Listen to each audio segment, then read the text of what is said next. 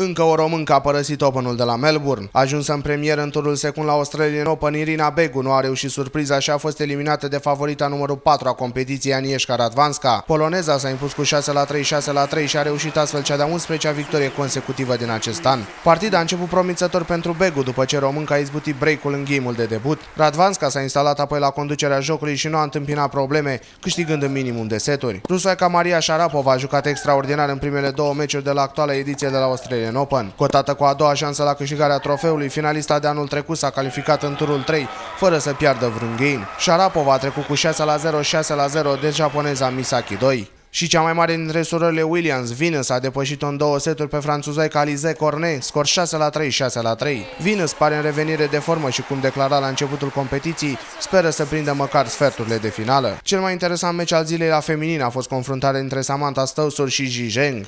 Chinezoica a luat primul set cu 6 la 4, însă manșa secundă a fost la discreția australiencei, aceasta impunându-se cu 6 la 1. Decisivul a fost echilibrat, însă Stousur a părăsit turneul după o dublă greșeală, cu care a cedat setul 7 la 5. La masculin, favoritul principal, sârbul Novak Djokovic, l-a învins cu 6 la 1, 6 la 2, 6 la 3 pe Ryan Harrison. Liderul mondial a început în forță, judecându-și primul set fără probleme. Harrison nu a putut face față jocului solid prestat de Djokovic, cedând și celelalte două acte. Cehul Tomasz Berdic se califică și el în turul următor după 6 la 2, 6 la 2, 6 la 4 cu francezul Guillaume Ruffin. Berdic va juca în runda următoare cu austriacul Jürgen Melzer.